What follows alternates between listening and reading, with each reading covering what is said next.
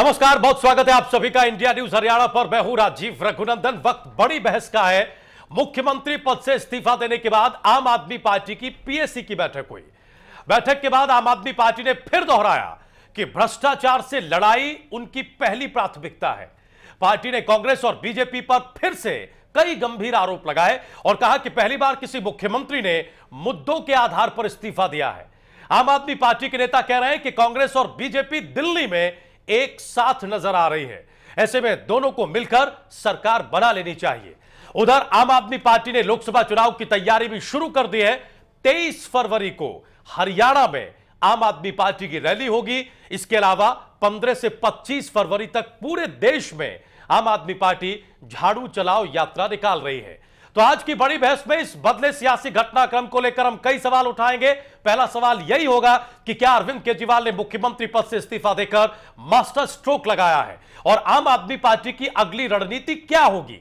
हरियाणा के नज़रिए से भी आम आदमी पार्टी के मिशन लोकसभा पर हम चर्चा करेंगे। आज की बड़ी बहस में एक बड़ा सवाल यह भी रहेगा कि क्या योगेंद्र यादव अहिरवाल की राजनीति में हीरो बन पाएँगे?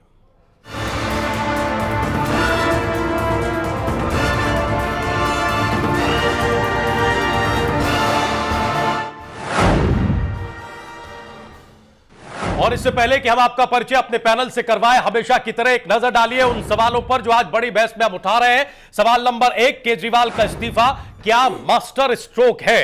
केजरीवाल ने दिल्ली के मुख्यमंत्री पद से इस्तीफा देकर क्या मास्टर स्ट्रोक चला है और इसी इस्तीफे के बल पर या इससे उपजी सहानुभूति या इससे जिस तरह की उनकी छवि बनेगी, उसी दम पर लोकसभा का चुनाव लड़ा जाएगा। सवाल नंबर दो जो इंडिया न्यूज़ हरियाणा उठा रहा है कि आम आदमी पार्टी की अगली रणनीति अब क्या होगी? रैलियों का शेड्यूल तो बना है, झाड़ू यात्रा की तैयारी तो की गई है, लेकिन इसके अलावा और क्या कुछ उनके तर्कश में अभी बाकी है? सवाल नंबर तीन, क्या आम आदमी पार्टी के लिए हरियाणा की सियासी ज़मीन माकूल साबित होगी, क्योंकि रैलियों का जो सिलसिला शुरू होने जा रहा है, उसमें पहली रैली 23 तारीख को हरियाणा में ही करने जा रही है आम आदमी पार्टी। सवाल नंबर चार, आम आदमी पार्टी का लोकसभा मिशन, किस पार्टी को ज़्यादा नुकसान पहुंचाएगा? क्या यह कांग्रेस पार्टी की मदद करेगा, या फिर जो हाल दिल्ली में बीजेपी का हुआ, कहीं केंद्र की सियासत में आम आदमी पार्टी वही हाल बीजेपी का फिर से न कर दे। और आखिरी सवाल सवाल नंबर पाँच, क्या योगेंद्र यादव अहिरवाल के हीरो बन पाएँगे? कल एक बड़ी खबर आई दोपहर में, जो शायद मुख्यमंत्री के इस्तीफे की वजह से थोड़ी सी दब गई, वो ये कि योगेंद्र यादव का नाम पहली सूची में है। आम आदमी पार्टी ने ऐलान कर दिया कि योगेंद्र यादव गुड़गांव लोकसभा क्षेत्र से चुनाव लड़ेंगे और अब तस्वीर पूरी तरह से साफ़ दिखाई दे रही है। अगर योगेंद्र यादव गुड़गांव लोकसभा सीट में आते हैं तो अहिरवाल के हीरो बन पाएँगे या नहीं बन पाएँगे? तो सवाल नंबर एक, केजरीवाल का इस्तीफा, क्या मास्टर स्ट्रोक है? सवाल नंबर दो, आम आदमी पार्टी की अगली रणनीति क्या होगी? सवाल नंबर तीन, क्या आपके लिए, यानी आम आदमी पार्टी के लिए हरियाणा की ज़मीन माकूल साबित होगी। सवाल नंबर चार, आपका लोकसभा मिशन किस पार्टी को ज़्यादा नुकसान पहुंचाएगा? और सवाल नंबर पाँच, क्या अहिरवाल के हीरो बन पाएँगे? योगेंद्र यादव।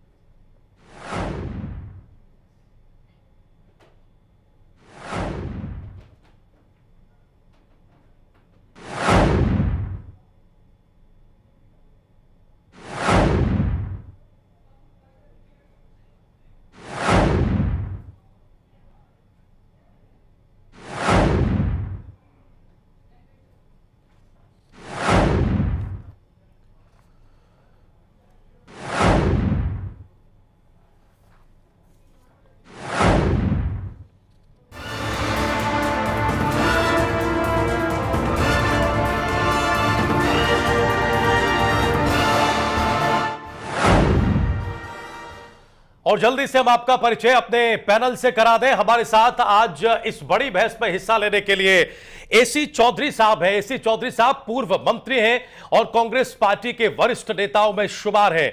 चौधरी साहब, बहुत स्वागत। इंडिया न्यूज़ हरियाणा पर बड़ी बहस में। हमारे साथ परमजीत सिंह जी हैं। परमजीत सिंह जी आम आदमी पार्टी के नेता हैं और हरियाणा में बड़ी ज़िम्मेदारी संगठन के तौर पर निभा रहे हैं।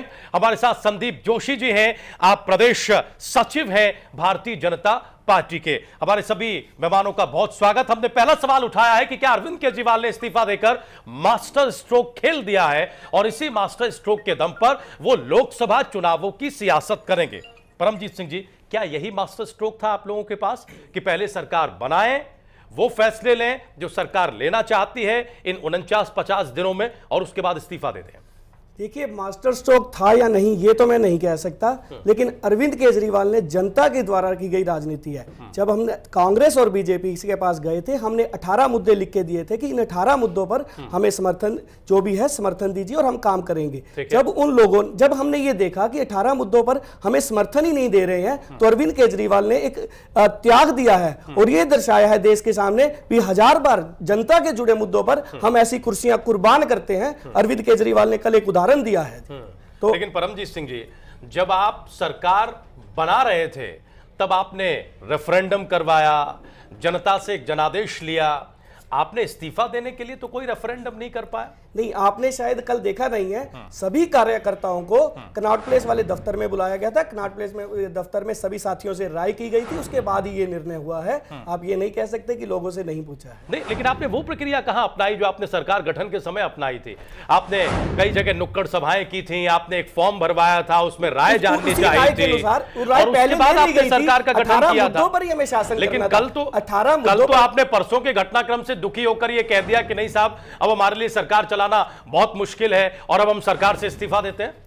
देखिए वो बात अलग है। जब हमने एक आज हुआ क्या है? हम्म। कल विधानसभा पर आप नज़र डाल के देखिए हम्म। जब मुकेश अंबानी ने मुकेश अंबानी के पैसे ने कांग्रेस और भारतीय जनता पार्टी को इकट्ठा कर दिया। हम्म। जब एसआईटी के मुद्दे को लेकर अरविंद केजरीवाल ने किया एसआईटी को लेकर शीला दीक्षित को शीला दीक्षित के खिलाफ भी प्रहार किए हैं। और एक तीसरा जो मुद्दा है इन बातों को लेकर जब हम जन, अपने साथियों के पास गए और जो हमारे मैनिफेस्टो में है जब हम उसको पूरा नहीं कर पाए तो अरविंद केजरीवाल ने त्याग की भावना दिखाकर अपने मुख्यमंत्री की कुर्सी को लेकिन जी कांग्रेस और बीजेपी एक सुर में आप पर निशाना साध रहे हैं। तो यही तो मुकेश अंबानी के पैसे की ताकत कह रहे हैं। कि आप अपनी ज़िम्मेदारी से भागे हैं। नहीं। आपने कोई त्याग नहीं किया है। आपकी तरकश में एक ही तीर था और इस तीर को आप समय पर चलाना चाहते थे कल वो समय आ गया। नहीं ये तीर है या नहीं जनता के तो सामने डिलीवर करने में नाकाम रहे और इस वजह से आपने ये तीर है या नहीं? है ये देश की जनता बताएगी। लेकिन लेकिन मुकेश अंबानी के पैसे से कांग्रेस और भारतीय जनता पार्टी कितनी एकजुट हो सकती है ये कल जनता ने देखा है। जनता ने यह देखा किस तरह से एक व्यक्ति को जनता से जुड़े मुद्दे को पेश करने वाले व्यक्ति को एक शिकार किया गया है यह जनता ने देखा है और जनता बिल्कुल हकीकत जानती है कि क्या हुआ है। भ्रष्टाचार पर बड़ी बड़ी बातें करने वाली पार्टियाँ जन लोकपाल के समर्थन करने वाली पार्टियाँ भ्रष्टाचार की पार्टी भ्रष्टाचार को दूर करने वाली पार्टियों ने जब देखा भी जन लोकपाल कानून आ गया तो हमारे तो आधे से ज़्यादा मंत्री जेल में चले जाएँगे आधे से ज़्यादा विधायक जेल में चले जाएँगे। इसी इसीलिए ये मुकेश अंबानी पर जब एफआईआर दर्ज हुई तो मुकेश अंबानी ने एक, एक ड्रामा रचा कांग्रेस और भारतीय जनता पार्टी को एकजुट करके क्योंकि वो भी जानता था कि एफआईआर दर्ज हो चुकी है और हम भी गिरफ़्तार हो सकते हैं इसलिए ये ड्रामा रचा गया है। ठीक है। हम अपने पैनल में परिचय कराते हैं। हमारे साथ इंडियन नेशनल लोकदल के प्रदेश प्रवक्ता आर एस दया साहब जुड़ चुके हैं। दया साहब बहुत स्वागत। इंडिया न्यूज़ हरियाणा के स्टूडियो में। हम एसी चौधरी साहब के पास जाएँगे। इससे पहले कि हम संदीप जोशी जी के पास आए और बीजेपी की टिप्पणी लें आम आदमी पार्टी के आरोपों पर। चौधरी साहब, दिल्ली में पिछले उनचास पचास दिनों में जो कुछ हुआ और कल जिस तरह से अरविंद केजरीवाल ने इस्तीफा दिया, इसे आप किस नज़रिए से देख रहे हैं? क्या वाकई यही मास्टर स्ट्रोक था? क्या वाकई अरविंद केजरीवाल के तर्कश में यही एक तीर था जो उन्होंने चला दिया?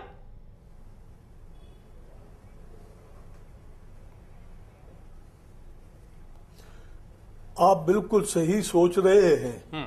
कारण सिर्फ़ इतना है कि मैं तो इसे कहूँगा कि इन्होंने मिस फायर किया है। मिस हम्म। फायर इस तरह हम्म। कि ये ये बात तो बच्चे बच्चे की जबान पे थी जी। कि जिनके पास कुल सत्तर में से अट्ठाईस वोट हैं।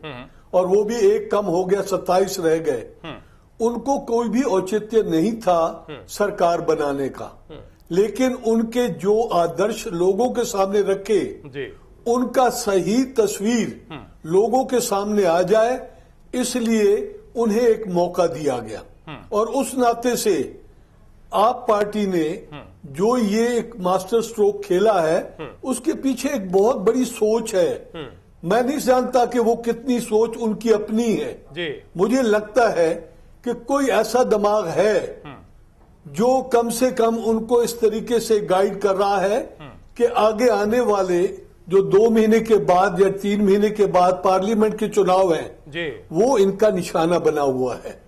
उसको हासिल करने के लिए ये लोगों की सिमथी लोगों में अपनी पहचान बनाने या अपने आप को ज़ाहिर करने का एक अच्छा तरीका उन्होंने निकाला है। लेकिन वो ये भूल गए हैं कि जब उन्होंने ये इस्तीफा देने की बात कही जी।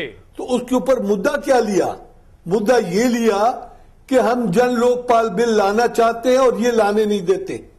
मैं ये पूछता हूँ उनसे कि जब वो हाउस में बैठे थे तो हाउस की गरिमा बनाए रखना हाउस के कानून कायदे के मुताबिक चलना हर विधायक के लिए लाजमी है। और उसी कानून के तहत अब ये हाउस में फ़र्स्ट रीडिंग आएगी हाउस में पहले बिल इंट्रोड्यूस होता इंट्रोडक्शन के बाद उसके बाद क्लास बाय क्लास डिस्कशन होती। ये सारी चीज़ें जो होनी थी वो एक विधान के मुताबिक संविधान के प्रावधान के तहत होनी थी। लेकिन जब गवर्नर ने यहाँ तक कह दिया और ये नहीं भूलना चाहिए उनको कि ये फुल फ्लेजेड स्टेट नहीं है।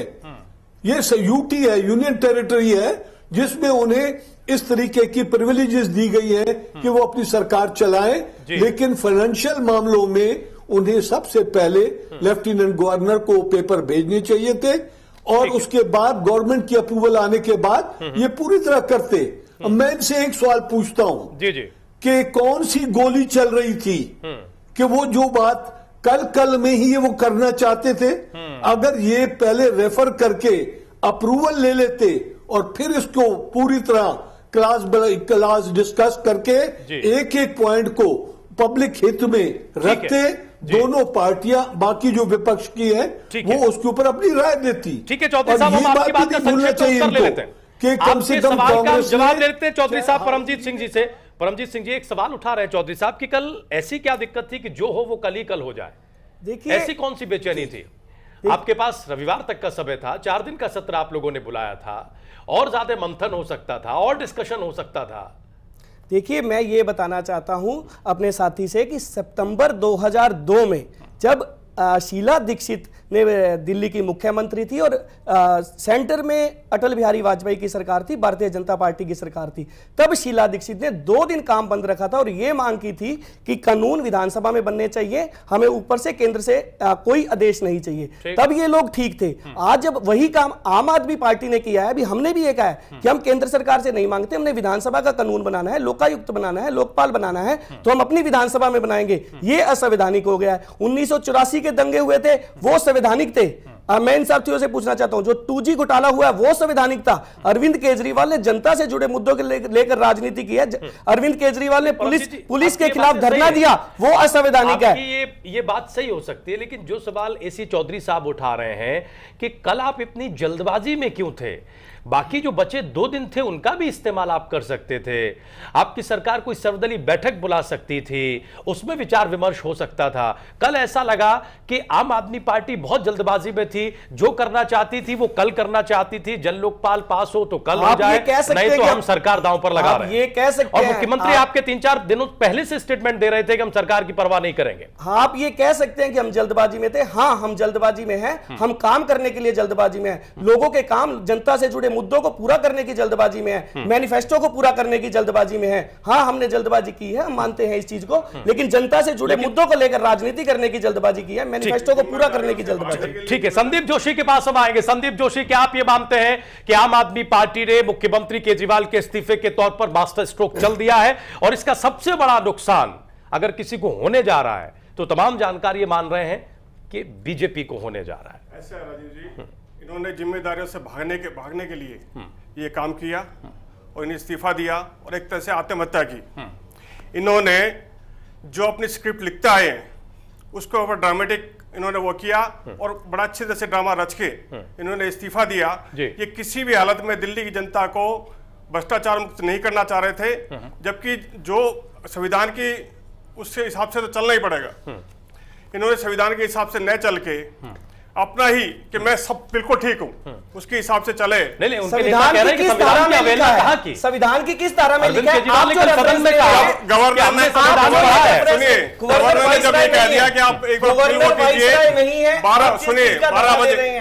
वो केवल और केवल होम मिनिस्ट्री द्वारा जारी किया गया एक पत्र केजरीवाल जी ने ये कहा कि मैं संविधान का सम्मान करता हूँ उसके हिसाब चलूँगा। क्या गवर्नर का पद का संविधान के अनुसार नहीं है? और उन्होंने संविधान के अनुसार बात नहीं की उनसे। हम संविधान का पालन करने के लिए लेटर दे दिया उन्होंने कहा क्या जल्दी हो रही थी? उन्होंने उन्होंने उन्होंने विधानसभा के भाषण में ये कह दिया हम पहले सड़क पे लड़े फिर संसद पे लड़ेंगे? हम्म। उसके बाद ये भी कह दिया कि मेरा आखिरी सत्र होगा। हम्म। इसका मतलब उन्होंने तय किया हुआ था पहले से ही हम्म। कि इसके ऊपर हमने छोड़ के जाना ही जाना उससे भी दो दिन पहले जाइए जब मुकेश अंबानी पर एफआईआर दर्ज हुई। इसी तरह का अभी पर एफआईआर दर्ज रात को 12 बजे एसआईटी का गठन हो गया दे रहे हैं दे रहे हैं आपके पास अगले दिन बहस के बगैर हमेशा बहस हम आरएस दया के पास आते हैं। आरएस दया साहब आप क्या सोच रहे हैं? वाकई कल जो कुछ दिल्ली की विधानसभा में हुआ वो वेल स्क्रिप्टेड था केवल एक ड्रामा आम आदमी पार्टी ने किया। आम आदमी पार्टी और उनके नेता इस ताक में थे कि किसी तरह से इस तरह का एक टेंपो क्रिएट किया जाए और उसके बाद सरकार की शहादत दे दी जाए। देखिए तो मैं आपको बता दूँ हम्म। कि आम आदमी पार्टी का जन्म ही ड्रामेटिक हुआ है। हम्म। और आम आदमी पार्टी खास लोगों की पार्टी है। आम आदमी को एक धोखा देने की पार्टी। इसमें जो इनकी जो गवर्निंग बॉडी है उसमें सभी खास है। आम कोई नहीं है। आप चाहे भूषण जी को लीजिए अरविंद केजरीवाल जी को लीजिए मनीष सिसोदिया जी को ले लीजिए अपने वो कुमार विश्वास को ले लीजिए सभी आ, आ, खास आदमी हैं जिनकी आ, आ, जो करोड़ों में जो 110 करोड़ की रिटर्न भूषण जी भरते हैं केजरीवाल जी ने देख लीजिए सिसोदिया जी ने देख लीजिए नंबर। नंबर दो जो कल ये आए प्रजातंत्र है। प्रजातंत्र में पार्टियाँ अनेकों पार्टियाँ आएँगी। सात सौ अस्सी पार्टियाँ चुनाव आयोग के तहत अभी भी रजिस्टर्ड है, है। एक और इक्यासी में सात सौ इक्यासी में आ गई कोई सोलह सौ पार्टियाँ नहीं नहीं वो दूसरी ठीक है ठीक तो वो आ गई कोई बात नहीं। लेकिन पब्लिक को जो जिस तरीके से केजरीवाल जी ने स्टेप लिया हम्म। वो असंवैधानिक था क्योंकि पहली बात दिल्ली दिल्ली यूनियन टेरिटरी है। हम्म। मैं चौधरी साहब की बात से सहमत और जब भी अगर ऐसे ही सभी जगह अराजकता आ जाएगी तो संविधान की पालना कौन करेगा? हम्म। संविधान में क्योंकि ये पूरे उदाहरण दे रहे हैं। तो जब केंद्र में अटल जी की सरकार थी दिल्ली में शीला जी की सरकार थी तब दो दिन सदन में काम का इसी बात को लेकर बंद रहा था। हम बोल लेना आप बीच में बोलिए। तो ये यूनियन टेरिटरी है। कल और भी यूनियन टेरिटरीज है। कल वो भी अपने तरीके से उन्हें तो भारत का संविधान गौण होकर रह जाएगा। केजरीवाल जी पब्लिक को धोखा ना दें आम आदमी की बात करें क्योंकि इंडियन नेशनल लोकदल आम आदमी की पार्टी है सबसे बड़े आम आदमी चौधरी देवीलाल जी। देखिए जो जिन्होंने एक बोलने दीजिए पर जिन्होंने हमेशा आम आदमी की बात करी। चाहे वृद्ध अवस्था सम्मान पेंशन हो हम्म। चाहे कर्जा माफ़ी की बात हो चाहे गरीब के घर में जच्चा बच्चा के लिए खुराक देने की बात हो हम्म। चाहे आप चौपाल हमारा सवाल ये कि मास्टर स्ट्रोक है इन लोगों का या राजनीति को गाँव ये मास्टर मिस्टेक साबित होगी या ये मास्टर स्ट्रोक है? हमारा सवाल ये हाँ। मास्टर स्ट्रोक ये है कि हम्म। ये मैंने जो सात आदमी है इसमें और सात से आठवां आदमी नहीं आम आदमी पार्टी में सात आदमी एक कोर कमेटी होती है जो किचन कैबिनेट होती है उसमें बैठ के जो तय कर लेते हैं और उन लोगों को हम्म। ये वो करते कम से कम बाहर तो बैठे हैं जेल में तो नहीं बैठे। बाहर तो बैठे हैं जेल में तो नहीं बैठे। केजरीवाल जी के हम जन जनहित में बैठे रहे। और वो वो बात मेरे को ना छेड़ो तो ठीक है मैं आप अच्छा हम केजरीवाल जी को आपके चैनल के माध्यम से एक अनुरोध करेंगे कि आम आदमी की भावनाओं से ना खेलें। माननीय सर्वोच्च न्यायालय ने भी उन्हीं की बात को लेकर टिप्पणी की है और एक गाइडलाइन तय करने की बात की भी आप लोगों की भावनाओं को ना भड़काएँ। ठीक है। वही बात फिर से जरा चौधरी साहब के पास ठीक है आम आदमी आम आदमी भ्रमित हो जाता है और उसको पूरा करिए जैसे चौधरी देवीलाल जी ने किया। ठीक है। ऐसे चौधरी के पास चलेंगे हम दोबारा से। चौधरी साहब हमारा अगला सवाल यह आज बड़ी बहस में कि जो होना था वो कल हो गया। सियासी दल अपने दावपेच खेलते रहते हैं। कुछ लोग ये कह सकते हैं कि मास्टर स्ट्रोक है कुछ लोग ये कह सकते हैं कि मास्टर मिस्टेक है। हरियाणा की जो सियासी ज़मीन है वो आम आदमी पार्टी के लिए कितनी माकूल साबित होने जा रही है? क्योंकि आम आदमी पार्टी का जो मूल कैरेक्टर था आंदोलन करने का लगता है ऐसा है कि एक बार फिर से ये लोग उसी रास्ते पर है। और 23 फरवरी को जो ये रैली कर रहे हैं, वो भी पहली रैली हरियाणा में ही हो रही है। क्या सियासी ज़मीन हरियाणा माकूल रहेगी आम आदमी पार्टी के लिए? चौधरी साहब।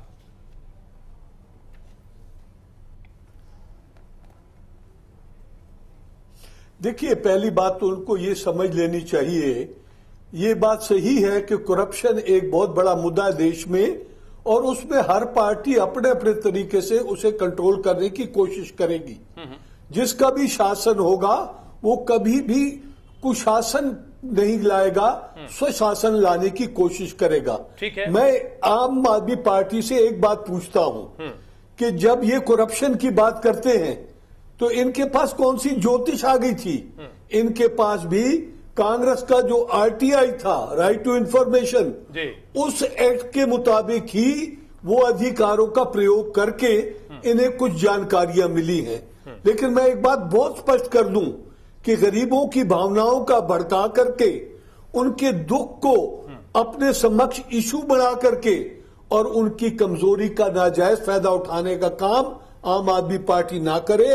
अगर ऐसा हुआ तो हरियाणा में उनको पूरी तरह से हरियाणा का जागरूक नागरिक जो है जो झुग्गी झोपड़ी में रहता है जो। बहुत अंडर प्रिविलेज है जिसकी कई समस्याएँ ऐसी हैं जिसके लिए हमारी सरकार कांग्रेस की भूपेंद्र हुडा जी पूरी तरह प्रयासरत हैं।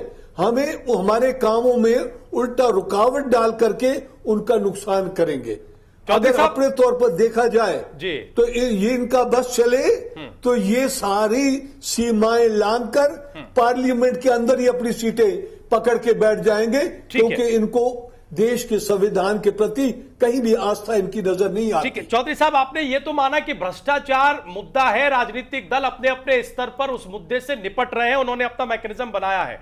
लेकिन जिस मुद्दे को लेकर आम आदमी पार्टी आगे बढ़ रही है जिस भ्रष्टाचार की आप भी बात कर रहे हैं हमारे प्रदेश में यह मुद्दा कितना बड़ा है और क्या यह बड़ा चुनावी मुद्दा कम से कम लोकसभा चुनावों में बन पाएगा?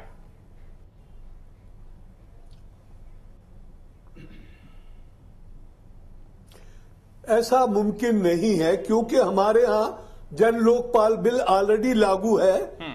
और उसके साथ साथ हमारे पास चार स्तर पर गवर्नमेंट लेवल पर भी हम्म। कई किस्म की कमेटियाँ बनी हुई हैं हम्म। जो करप्शन को कंट्रोल करने की बात करती हैं ठीक है मैं एक बात बड़ी चिंता मुझे हो रही है कि जिस तरीके से ओवरनाइट इस्तीफा देकर और अगर ये कहते हैं कि हमारे पास चार दिन का सेशन था हम्म। अगर कोई इनको कानूनी तौर पे पाबंदी तो नहीं थी। चार दिन के बाद दो दिन और भी बढ़ाया जा सकता था हम्म। जो इनके अपने परव्यू में था। हम्म। लेकिन मुझे ये बात कहते हुए बिल्कुल संकोच नहीं हो रहा कि ये एक ऐसा खेल खेल रहे हैं जिसमें एक सिविल वार की तरफ़ देश को ले जा रहे हैं। वो कैसे? आज ये कहते हैं बिजली का बिल। जी। हम जो सब्सिडाइज कर रहे हैं हम भी तो सब्सिडी दे रहे हैं हम्म। आप कौन सी नई बात कर रहे हो और उसके अलावा भी जो बात इन्होंने की कि पहले बिजली के बिल नहीं भरे गए हम्म। उसके बाद उनकी जो लाइन कट गई डीसीओ हम्म। हो गया डिस्कनेक्शन ऑर्डर हुए इन्होंने आप लाइनें जोड़नी शुरू कर दी जी अब अगर इनके राज में बिजली पानी के बकाया जात या बाकी टैक्सेस की वसूली पे कोई भी अगर एक्शन होगा जी। तो लोग ओपनली उसको फॉलो करेंगे जो एक गलत मिसाल केजरीवाल जी ने रखी है। और जब नहीं होगा तो देश में एक बहुत बड़ी अनार ठीक है चौधरी साहब चौधरी साहब आप रहे हमारे साथ प्रोफेसर छतरपाल जी जो कांग्रेस पार्टी के वरिष्ठ नेता है वो भी हमारे साथ फ़ोन लाइन पर जुड़ चुके हैं उनके पास हम जाएँगे लेकिन उससे पहले संदीप जोशी जो सवाल हम उठा रहे हैं हरियाणा की ज़मीन आम आदमी पार्टी के लिए लोकसभा के चुनाव में कितनी माकूल साबित होगी? क्योंकि आम आदमी पार्टी का जो मूल कैरेक्टर था जिसको सत्ता में पहुँचाया था जिस कैरेक्टर ने वही दोबारा भी धारण कर लिया है आम आदमी पार्टी ने। वही आंदोलन की बात दोबारे हो रही है वही रैलियों की बात दोबारे हो रही है हरियाणा में कितने कामयाब होंगे ये लोग जोशी साहब ऐसा है अति महत्वाकांक्षा के कारण हम्म। और मोदी जी के बढ़ते ग्राफ के कारण हम्म। इनको पता था कि हम कहीं नहीं ठहर रहे हैं पिछले दिनों में हम्म। और यादविंदर जी ये यादव जी ने हम्म। रविंद्र यादव जी ने हम्म। रेवाड़ी में जनसभा की वहाँ की एक्सपेक्टेशन हम्म। थी इनके बीस हज़ार लोग आएँगे ठीक आए दो हज़ार भी नहीं दस परसेंट मैदान नहीं बढ़ा भरा उसके कारण और कई ऐसे वो रहे इनके अगर इनके इंटरनल बात बताएँ हम कि जो इनके डेली पाँच लाख का जो इनका जो एनआरआई के थ्रू बाहर से पैसा आता था बस वो दस परसेंट भी नहीं रहा। इन सब चीज़ों से घबरा के हम्म। इन्होंने जल्दबाजी की। जोशी साहब ये जो बातें आप बता रहे हैं उसको तो ये समझेंगे। कितना पैसा इनके फंड में आ रहा है नहीं आ रहा है नहीं आ रहा है तो कैसे मैनेज करेंगे? आ रहा है तो जवाबदेही कहाँ होगी वगैरह वगैरह। लेकिन अब जो नई सियासी पिक्चर है जिसमें अब टारगेट पर हरियाणा है हरियाणा की लोकसभा की सियासत है वहाँ इनकी ज़मीन को आप कैसे देख रहे हैं? फोकस सवाल ये है ये वहाँ कामयाब होंगे या नहीं? ये हरियाणा में हलचल मचा पाएँगे या नहीं मचा पाएँगे? हरियाणा में ये हलचल क्या कुछ भी नहीं कर पाएँगे हम्म। हाँ ये मैं मानता हूँ हम्म। भ्रष्टाचार अहम मुद्दा नहीं रहेगा मुद्दा है हरियाणा वो मुद्दा तो इनके हाथ में है हरियाणा में है नहीं वो सब नहीं सब, इनके भी हाथ में है इनके हाथ में भी मुद्दे को लेकर आगे जनता पार्टी भी हमेशा करती रही है हम्म। और आपको बता दूँ कि जो ये लोकपाल वो करना चाह रहे खंडू जी ने बहुत साल पहले। ये वहाँ पे उत्तराखंड में ला दिया था। उसकी अन्ना जी ने प्रशंसा की थी और ये ये दिखाना चाहते हैं कि हम ही भ्रष्टाचार के खिलाफ है गलत कर रहे हैं। उसको बदल ठीक है ठीक है।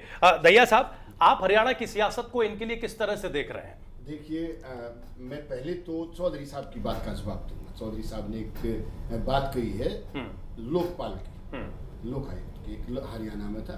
और भूपेंद्र सिंह चौधरी भूपेंद्र सिंह हुड्डा जी की जो माननीय मुख्यमंत्री जी की कि भ्रष्टाचार से निपटने देखिए चौधरी साहब लोकायुक्त को आईएनएल की तरफ़ से आपके आधी से ज़्यादा कैबिनेट की सीरीज़ दी जा चुकी हैं। और लोकायुक्त महोदय ने उन पर फौजी रामकिशन फौजी को अरेस्ट कर यानी एफआईआर दर्ज करने की बात की है। हम्म। और आपके मुख्यमंत्री महोदय उन्होंने एक कमेटी गठित की है और उसको बचाने का काम कर रहे हैं। क्योंकि सीएलयू जिस संबंध में वो सीडी है उसमें वो सीधे तौर पर मुख्यमंत्री जी की और इशारा होता है क्योंकि। रामकिशन फौजी जी जो है जी। वो इसका कार्य क्षेत्र ही नहीं है हम्म। कि वो सीएलयू कराए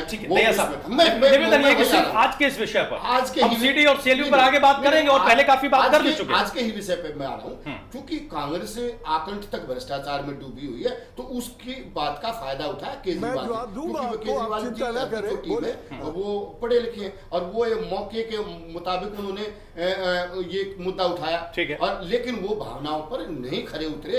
और अगर भावनाओं पर चौधरी देवीलाल की तरह उठते भावनाओं पर लोगों की भावनाओं को वो खड़े उतरते और तो उन, उन वे आगे चलते। और इनके पास क्या मुद्दा है केजरीवाल जी के पास? राइट टू रिकॉल का चौधरी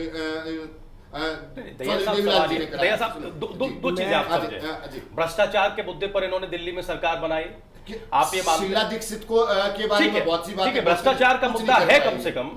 हरियाणा में भी पर एफआईआर दर्ज हो हरियाणा में भी भ्रष्टाचार मायने रखता है दैया साहब? हरियाणा में भ्रष्टाचार मायने रखता है। भारी मायने रखता है। ये मुद्दा अभी भी इनके हाथ में है। नहीं इनके हाथ में तो इन्होंने तो जो इसीलिए हम ये सवाल पूछ रहे हैं कि हरियाणा में इनका क्या होगा? इनसे बड़ी आम आदमी पार्टी चौधरी देवीलाल के आदर्शों पर चलने वाली इंडियन नेशनल लोकदल है और चौधरी देवीलाल से बड़ा आम आदमी उससे बड़ा आदमी आज तक चौटाला और अजय चौटाला और अभय चौटाला का भी नाम लीजिए ना। ठीक है दया साहब आएँगे आपको चूँकि प्रोफेसर चंद्रपाल जी भी हमारे साथ जुड़े हुए हैं। जी बहुत बड़ी याद है देवीलाल जी का समय ठीक है प्रोफेसर चंद्रपाल जी हमारे साथ जुड़े हुए हैं। ठीक हम हम बोलिए अक्षर दया साहब नहीं है बस ठीक है परम जी हो गया रिश्तेदारों को उनको दे रहे हैं। दया साहब नॉट इवन एक चौटाला गाँव का एक आदमी भी नहीं है। ठीक है ठीक है दया साहब हम प्रोफेसर छतरपाल जी से एक रिएक्शन ले रहे हैं। आपको कोई जानकारी देखिए प्रोफेसर साहब अगर आवाज़ हमारी पहुँच रही है आप तक तो हम आपसे सवाल ये करना चाहेंगे जो पहला सवाल हमने आज बड़ी बहस में उठाया भी है और अपने तमाम पहले से पूछा भी है कि क्या इस्तीफे के तौर पर आम आदमी पार्टी ने या मुख्यमंत्री अरविंद केजरीवाल ने अपना मास्टर स्ट्रोक चल दिया और इस्तीफा दे दिया? यही एक तर्कश का तीर था जिसे इस्तेमाल कर लिया गया। देखिए राजीव भाई ये दुनिया ये देश देखता है कि कौन व्यक्ति किस किस्म से राजनीति में व्यवहार कर रहा है सामाजिक जीवन में व्यवहार कर रहा है। हम्म। मात्र जिस प्रकार से केजरीवाल जी ने इस्तीफा दिया जल लोकपाल के मुद्दे के ऊपर जी। मैं ये नहीं समझ पाया कि जन लोकपाल का मुद्दा आप बहुत विरोधाभास की परिस्थिति में ज़बरदस्ती लेके आ रहे हैं। हम्म। उसमें संवैधानिक प्रक्रियाओं के ऊपर सवाल या निशान लगा हुआ है। लेफ्टिनेंट गवर्नर की भूमिका को उसमें पूरी तरह से पालन नहीं किया गया है। हम्म। और जो विपक्ष में बैठे या जो सहयोगी कांग्रेस या बीजेपी थी जी।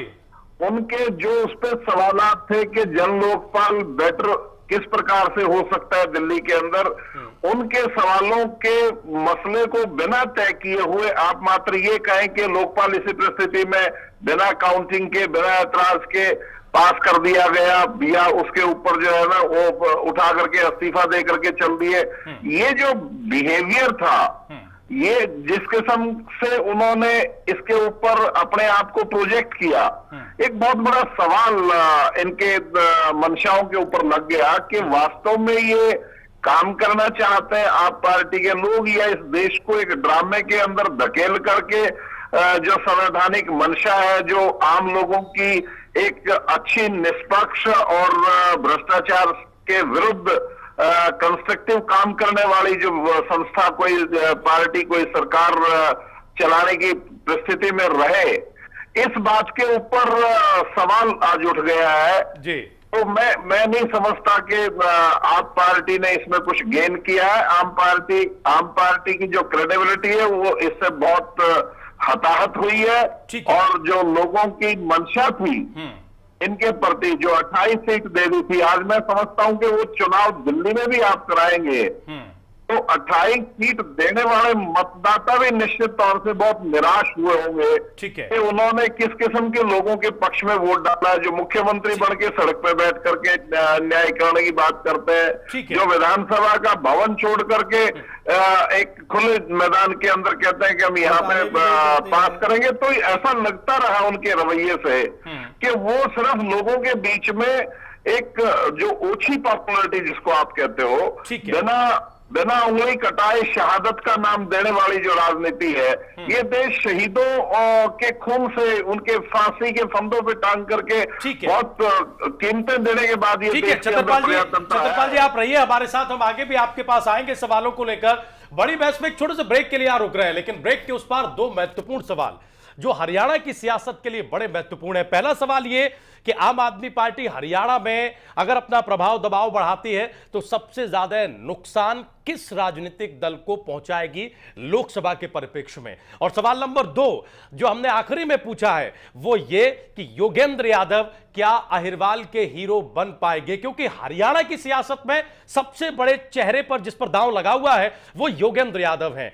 अहिरवाल की सियासत योगेंद्र यादव से किस तरह से बदलेगी? क्या वो हीरो होंगे या ज़ीरो साबित होंगे? एक छोटे से ब्रेक के बाद सारा पैनल हमारे साथ बना हुआ है, तुरंत हाजिर हो रहा है।